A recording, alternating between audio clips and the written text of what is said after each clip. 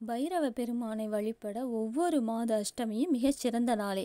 ஏனெனில் அன்றைய நாளில் அஷ்டலக்ஷ்மிகளும் பைரவரை வழிபடுவதாகவும் அதனால் அன்று அவரை வழங்கிட மக்கள் அனைத்து வளங்களையும் பெற்று சிறப்புடன் வாழலாம். மேலும் ஒவ்வொரு மாத தேய்பிரை அஷ்டமிக்கும் ஒவ்வொரு சிறப்பு பெயர் உண்டு. மார்கழி மாதம் வருவது சங்கராஷ்டமி. தை மாதம் வருவது தேவதேவாஷ்டமி மாசி மாதம் வருவது மகேஸ்வராஷ்டமி. பங்குனி மாதம் வருவது திரையம்பகாஷ்டமி. சித்திரை ஸ்நாதனாஷ்டமி. வைகாசி மாதம் வருவது சதாசிவாஷ்டமி. ஆனி மாதம் வருவது பகவதாஷ்டமி. ஆடி மாதம் வருவது நீலகண்டாஷ்டமி.